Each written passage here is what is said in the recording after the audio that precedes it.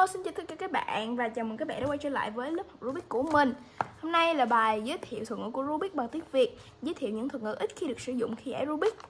Ngoài những thuật ngữ tiếng Anh ra là mình đã từng giải nghĩa cho các bạn rồi Thì số thuật ngữ tiếng Việt đôi khi vẫn được sử dụng. Nhưng mà nó ít lắm các bạn ơi Và các bạn có thể nghe ở đâu đó. Cho nên là mình làm video này để khi các bạn nghe được ở đâu đó thì các bạn sẽ hiểu những cái thuật ngữ này. Ok thì ở đây mình có năm thuật ngữ. Bản mà chúng ta vừa mới học ở trong bài 1 đây đó là thuật ngữ R, U, F, L và D. Giờ đỡ thì đây là R, R thì là right. Right. Và right nghĩa là phải. Thì thì thuật ngữ này là B B đây B phải. Đó thì đây là thuật ngữ phải. Y chang tiếng Anh thôi. Tiếp theo là thuật ngữ U. U là u trên. Mình không biết là U để lên Hay là mình sẽ để ở trên đi ha các bạn. Mình sẽ để ở trên cho các bạn dễ hiểu Hoặc là bạn nói lên Mình nói nó là trên đi cho nó dễ hiểu.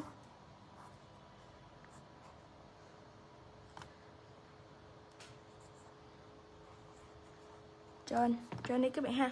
Phần trên là xoay như vậy nè các bạn. U chang thôi. Mà thuật ngữ này thì mình thấy ít người sử dụng lắm các bạn ơi. Ngữ U này nè mình thấy ít người sử dụng bằng tiếng Việt lắm. Mình cũng không có nghe đâu mà người ta sử dụng U bằng tiếng Việt hết trơn. Mình không cứ biết đi ha. Tiếp theo là thuật ngữ F. F là trước, Tờ R trước. Trước như vậy. F cũng y chang thôi. Tiếp theo là L L là T T là trái. Bên trái.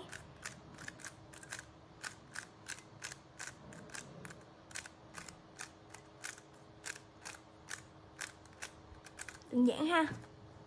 Tiếp theo là thuật ngữ cuối cùng là đi là down, là dưới D luôn, là dưới. Dưới là bên dưới này đó, vậy là phần giải nghĩa các thuật ngữ bằng tiếng Việt đã xong. Chúng ta sẽ đến những thuật ngữ ít được sử dụng. Thuật ngữ em và thuật ngữ be. Tuy là ít được sử dụng nhưng mà vẫn được nghe ở rất là nhiều những bài học, bài hướng dẫn Rubik thì đó là em em là xoay middle, là xoay giữa như vậy nè các bạn? Đó là em đó các bạn. Em là middle. Còn b b là back nha các bạn. Back back là xoay đằng xa như vậy. Vậy thì chúng ta cùng nhận nghĩa coi là b thì cái màu kêu b phẩy á, phải như thế nào nha. Đây là khi bạn xoay xoay b nè, đúng không? Thì đây là, bạn sẽ quay lại mặt này, nếu bạn xoay bi ở mặt trước thì nó sẽ động đến cái mặt sau này đây là 12 thì nếu các bạn xoay như vậy 12 tới 3 giờ. Đây là 9 giờ này là 12 giờ. Thì các bạn xoay như vậy 9 giờ 12 giờ 9 giờ 12 giờ. Thì nó sẽ đúng chiều nè các bạn. Thì đây gọi là pi. Còn ngược lại, thì như vậy gọi là bi phẩy. 9 giờ xuống 6 giờ là bi phẩy. Đó, đơn giản thôi. Cuối cùng là bài tập của ngày hôm nay. Để chuẩn bị bài tập này thì các bạn nên chuẩn bị 6 màu của Rubik cho mình. Không cần chuẩn bị màu trắng đâu. Đó là xanh. Dương. Màu đỏ. Màu cam. Cam mình nó hết mực rồi. Màu cam của mình nó hết mực rồi nên mình sẽ sử dụng màu da này nha các bạn. Màu vàng. Rồi màu xanh lá. Rồi, giờ thì sẽ bắt đầu thôi. Đầu tiên là yêu cầu mình sẽ đọc cho các bạn nghe vẽ tất cả các thuật ngữ của Rubik mà em đã được học lên Rubik ở bên kia. Xoay theo thứ tự như ở trang 1 lên cục Rubik. Lấy màu tô lên, hình Rubik giống như cục Rubik mà các bạn đã xoay. Rồi, thì đầu tiên là vẽ tất cả các thuật ngữ lên Rubik mà các bạn, thuật ngữ Rubik mà các bạn đã học. Theo thứ tự ở bên trang 1 nè, thì đầu tiên là thuật ngữ right right các bạn sẽ viết lên như vậy và ghi số 1 ở đây đó các bạn có thể tự vẽ một cái hình Rubik và các bạn nhìn theo cái trang này các bạn làm nha. Mình sẽ cho các bạn một phút một phút bắt đầu. Một.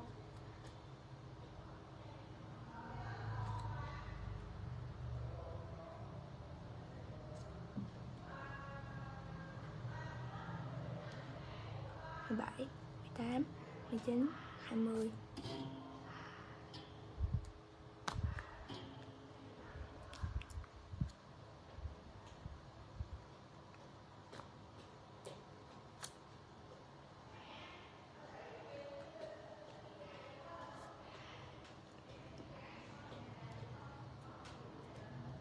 Ok, đã hết một phút rồi.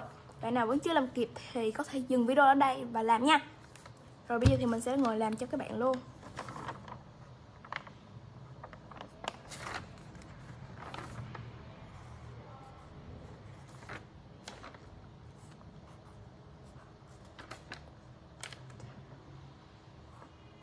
Các bạn cũng đừng quên là bỏ thêm hai thuật ngữ mới được học lên nha.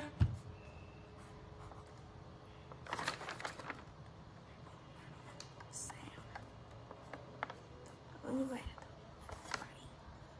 rồi, mình sẽ xoay cho các bạn các bạn có thể xoay theo. Cách mình để là sẽ để mặt xanh lá, hướng như mặt các bạn và mặt trắng ở trên nha. Sẽ bắt đầu làm. Thuật ngữ đầu tiên là r. Thuật ngữ tiếp theo là u. Thuật ngữ tiếp theo nữa là f.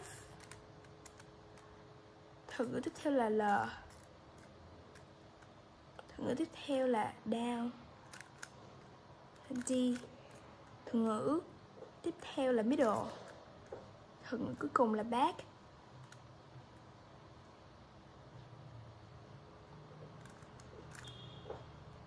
Rồi, xong.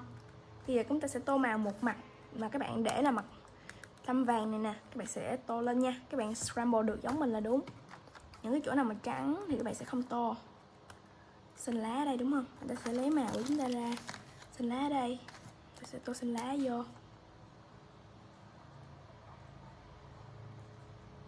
Hai màu đỏ ở hai bên này.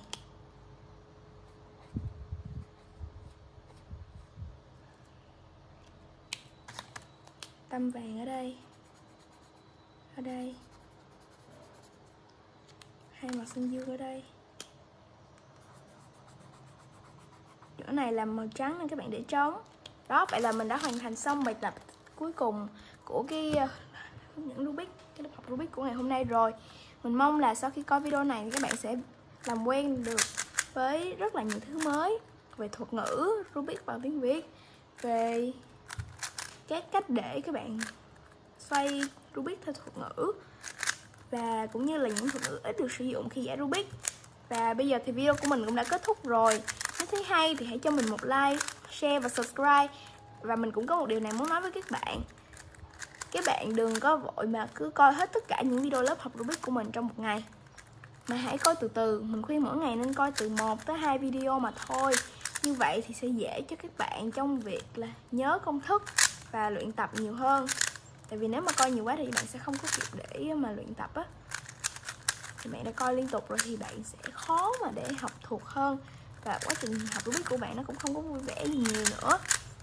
Và video của mình cũng đã kết thúc rồi. Cảm ơn các bạn đã xem video của mình. Nếu thấy hay thì hãy cho mình một like, share và subscribe nha. Bye bye.